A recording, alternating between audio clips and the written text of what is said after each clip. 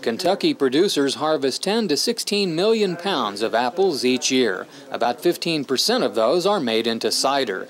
Because it's important for producers to maintain a reputation for high quality, a recent cider school hosted by the University of Kentucky drew a healthy attendance.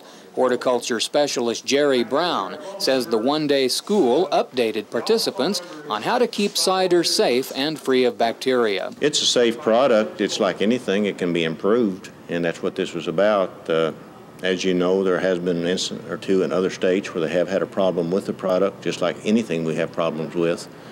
To my knowledge, there has not been a problem with the safety of Kentucky apple cider. Uh, our producers are making a good product, but we are here with expertise from Kentucky and elsewhere on some of the latest techniques. Brown says cider in Kentucky is sold mostly as a fresh product directly to consumers. He said that's an important market for growers because it utilizes apples that might be undersized or in some way unattractive to buyers.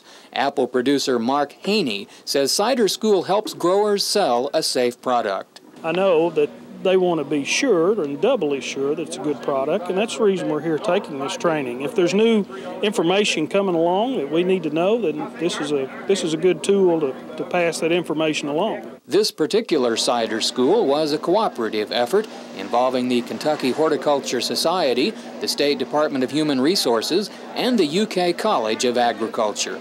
For the UK Cooperative Extension Service, I'm Haven Miller.